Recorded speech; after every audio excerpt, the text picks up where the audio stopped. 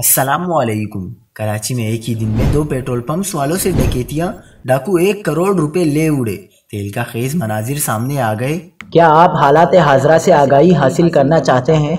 खबर के पीछे छुपे असल हकाइक जानना चाहते हैं तो अभी सब्सक्राइब कीजिए दिलमिल पाकिस्तान को और साथ ही घंटी के निशान पर क्लिक कर दें।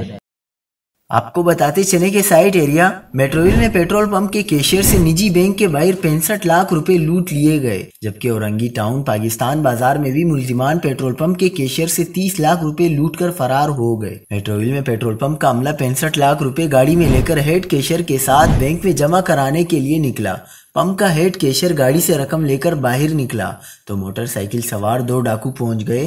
पुलिस का कहना है कि मुलजिमान ने असले के ज़ोर पर केशर से केश चीना और फरार हो गए। दूसरी जानी पुलिस के मुताबिक औरंगी टाउन, पाकिस्तान बाज़ार ताने की हदूद में भी मुलजिमान पेट्रोल पंप के केशर से तीस लाख रुपए लूट कर फरार हो गए।